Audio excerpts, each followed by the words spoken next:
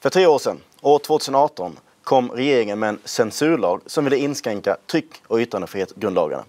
Syftet med den föreslagna lagen, som kritiserats hårt av flertal viktiga remissinstanser, handlar framför allt om att sätta stopp för söktjänster som Lexbase där vem som helst kan begära ut domar från svenska domstolar.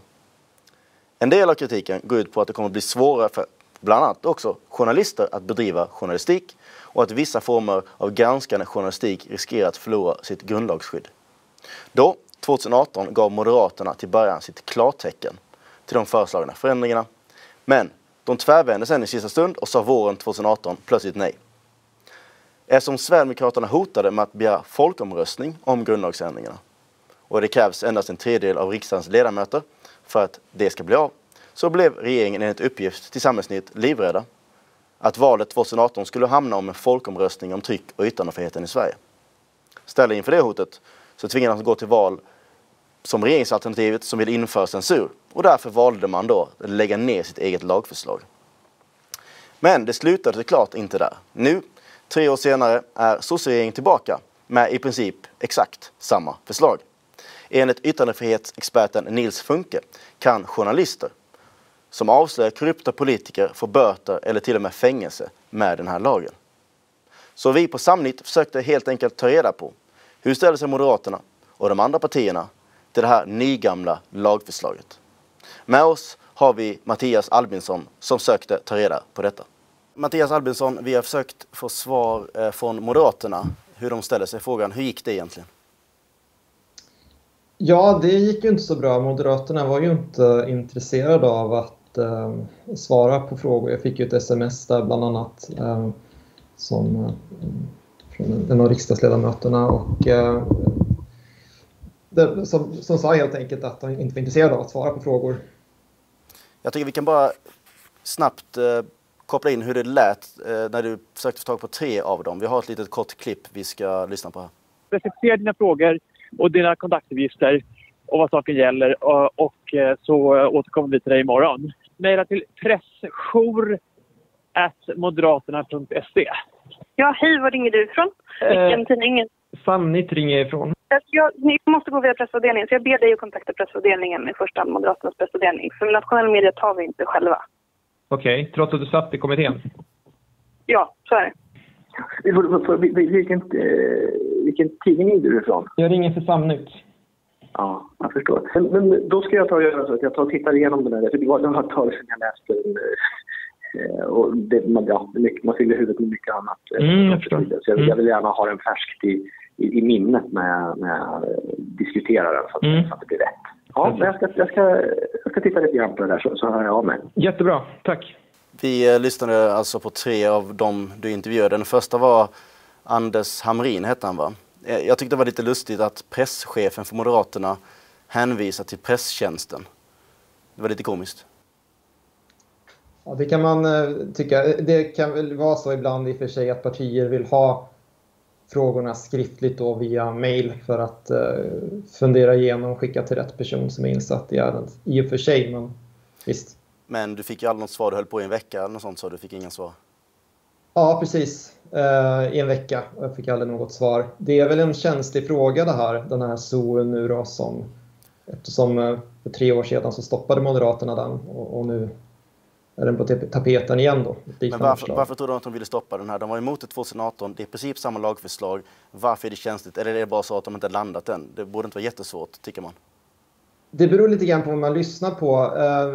Alltså, regeringssidan de menar ju att Moderaterna helt enkelt backade ur i sista stund. De, de fick kalla fötter. Det är ju ett kontroversiellt lagförslag det här som har fått väldigt skarp kritik från flera tunga remissinstanser det här är ju ingenting som bara vi inom alternativmedia är kritiska till utan här sitter ju då remissinstanser som Sveriges Television och Sveriges Radio till exempel sågar det här. Eh, Journalistförbundet, Publicistklubben, Tidningsutgivarna och så vidare och så vidare. Eh, men det är samtidigt någonting som många politiker oavsett parti av någon anledning vill få igenom. Mm. Även Sverigedemokraterna, de var ju emot det, de hotade med folkomröstning förra gången. Nu vill de inte ge något direkt besked. Jag misstänker att det har att göra med helt enkelt att Angelica Bengtsson eh, förmodligen inte känner att hon hade mandat att säga någonting innan partiet officiellt har tagit ställning i frågan. Men man kan väl ändå förvänta sig att de kommer säga nej även denna gången? Det är svårt att säga. Jag vet ju inte hur, hur diskussionerna har gått i, i den här kommittén. Alltså alla riksdagspartier sitter ju med i den här kommittén eh, som tar fram det här förslaget. Jag har ingen aning om eh, hur Angelica Bengtsson som, som själv suttit med i kommittén hur, hur diskussionerna förts mellan henne och övriga eh, medlemmar i partiet eh, om det kan, här kanske är ett, ett lagförslag som till och med Sverigedemokraterna kan tänka sig att gå vidare med den här gången. Det vet inte jag. Jättesvårt att säga om faktiskt. Mm. Liberalerna eh, pratade också med, eller fick ett svar från i alla fall, och de motiverade med någonting som jag tyckte lät lite lustigt i, i din artikel. Och jag citerar här.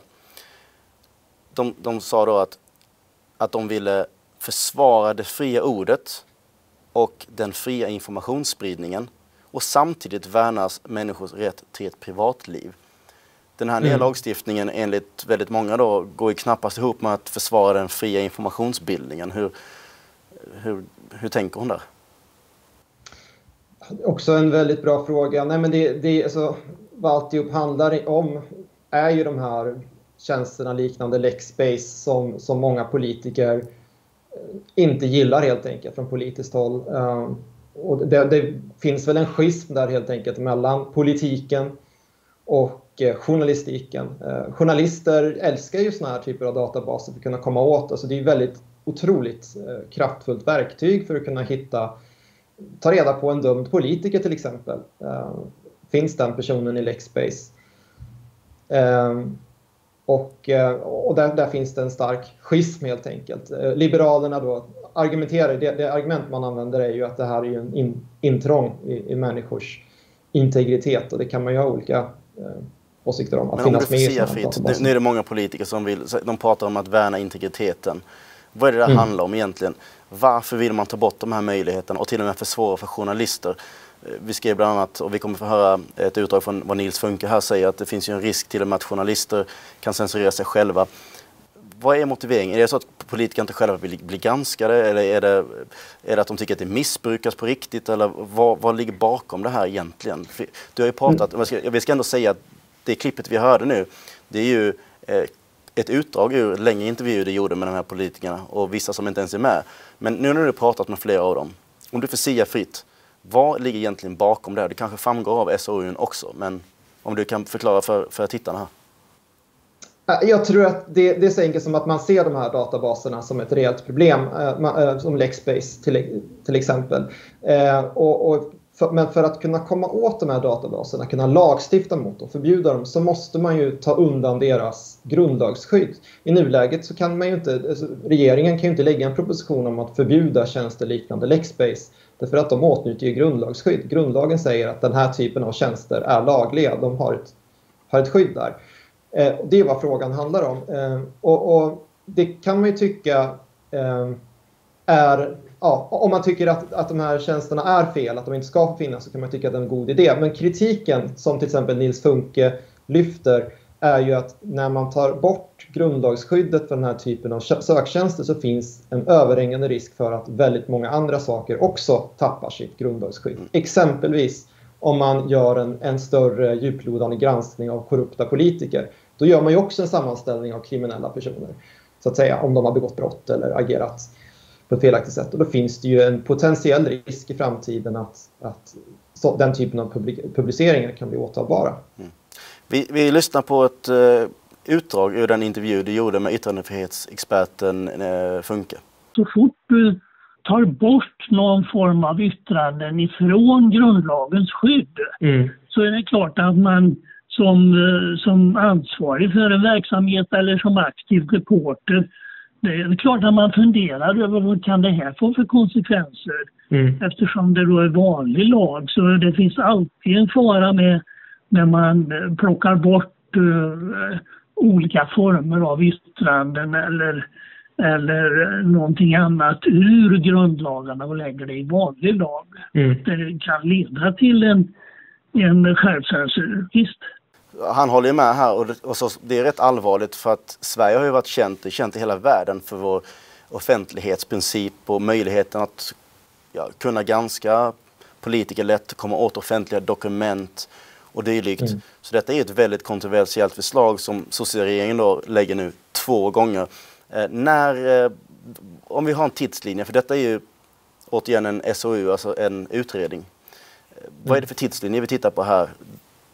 Hur ser tidsplanen ut framöver? Ja, alltså först måste då regeringen lägga en proposition, det vill säga ett konkret lagförslag uh, i riksdagen och den kommer förmodligen någon gång till hösten. Uh, och därefter så ska ju riksdagspartierna ta ställning då uh, till det här lagförslaget om man vill rösta ja eller nej till det. Sist det, det, det här var på tapeten då 2018, alltså tre år sedan, då ändrades ju Moderaterna i sista stund i princip ehm, de, man sa ja. Ehm, bara fram till bara några veckor innan så ändrade man sig. Ehm, och enligt källor då som, som personer som jag har pratat med, så, som, med, med insyn i, i Socialdemokraterna, så la de ner sitt eget förslag. På grund av hotet om att det här skulle kunna bli en folkomröstningsfråga. Det fanns, förestod diskussioner inom Sverigedemokraterna att, att lyfta det här eh, i riksdagen och kräva folkomröstning. Mm. Och då fanns en överhängande risk att riksdagsvalet 2018 skulle kunna bli en, en folkomröstning om, om yttrandefriheten i Sverige. Och det var ingenting som, som Socialdemokraterna ville gå till val på helt enkelt. Mm. Så proposition kanske till hösten och sen så måste de rösta om det här igen efter valet för att det ska kunna ja, bli en grundlagsförändring. Då har jag en sista mm. fråga. Vad är det som skiljer år 2018 och den risken som Socialdemokraterna såg då från nu? Det är ju val faktiskt nästa år till och med. Ehm, ja, nej, men det beror ju helt enkelt på vad man har pratat om i kommittén. Det vet ju inte vi och det är ju ingenting som kommittémedlemmarna ehm, vill avslöja heller. Det kan ju vara så att alla åtta riksdagspartier partier har kommit överens den här gången om att eh, vi, nu går vi vidare med det här förslaget och, och förbjuder Lexbase och, och öppnar upp det här hålet i grundlagen som hovrättsrådet Katarina Rikte varnade för eh, då för tre år sedan. Um, så, så, att det, förmodligen är det ju så. Eh, jag har svårt att se att regeringen skulle ha kom, så att säga, återkommit med det här förslaget igen och, och, att man lägger en proposition igen som redan har stoppats en gång om man inte är säker på att den faktiskt den här gången kommer gå igenom. Okej, vi får väl anledning att återkomma till det här när det blir ett lagförslag och när vi vet exakt hur partierna ställer sig. Tack så mycket för att du var med idag. Tack så mycket. Tack för att ni tittade på detta klipp. Jag skulle vilja be dig göra tre saker. Om du inte redan stöttar Samhällsnytt med en donation så skulle jag uppmana dig att börja göra det. Du kan donera genom Swish, numret ser du precis här under. Vi har banköverföring, vi har genom kort och även kryptovalutor. I länken i beskrivningen så hittar du mer information om hur du kan gå tillväga. Nummer två, börja prenumerera på denna kanalen. På så sätt så får du uppdateringar när vi lägger upp nya klipp. Och slutligen skulle jag uppmana dig att dela det här videoklippet till alla du känner på nätet så att fler får möjlighet att se det. Tack för att du tittade och vi ses nästa gång.